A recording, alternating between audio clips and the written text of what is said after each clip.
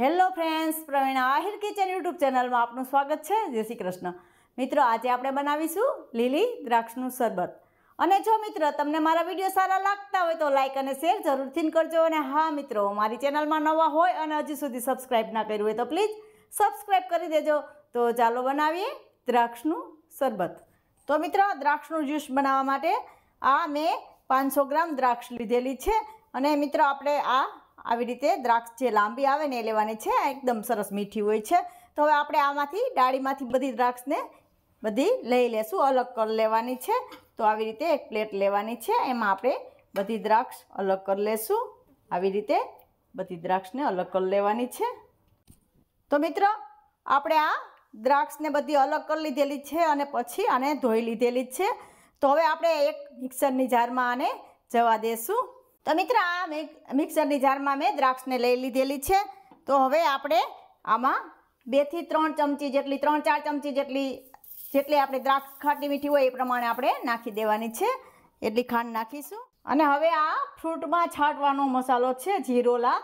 એ મસાલો ફરજિયાત નાખવાનો છે. આનાથી બહુ મસ્ત આ જ્યુસમાં ટેસ્ટ આવશે. તો આ અડધી ચમચી જેટલો મસાલો જવા દઉં છું.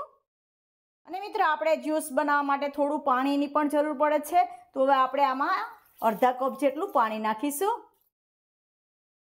અને ઢાંકણ ઢાંકી અને હવે આપણે આને જ્યુસ બનાવી લેશું મિક્સરમાં. તો મિત્રો, આપણે આ જ્યુસને જોઈ લેશું.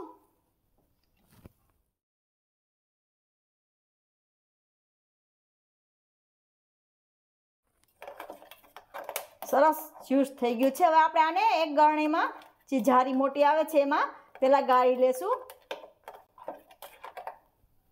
રીતે મોટી જારી લઈ લેવાની છે.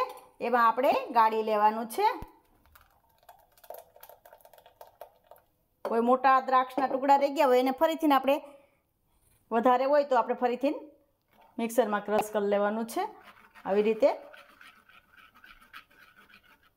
બધું કાઢી લેવાનું છે આમાંથી. બધો રસ નીકળી જાય. આવી રીતે મોટી કઈ ગરણીમાં જારીમાં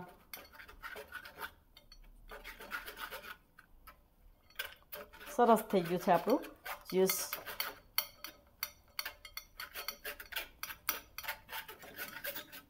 આવું ઉપરનું થોડીક છાલ હોય એ રહી ગઈ હોય. આપણે એમાં એવું લાગે કે આપણે આમાંથી થોડુંક રહી ગયું વધારે, તો ફરીથી મિક્સરમાં કરી લેવાનું. આમાં તો એક છાલ જ રહી ગઈ છે, બાકી કાંઈ રહ્યું નથી. એકદમ સરસ થઈ ગયું છે જ્યુસ.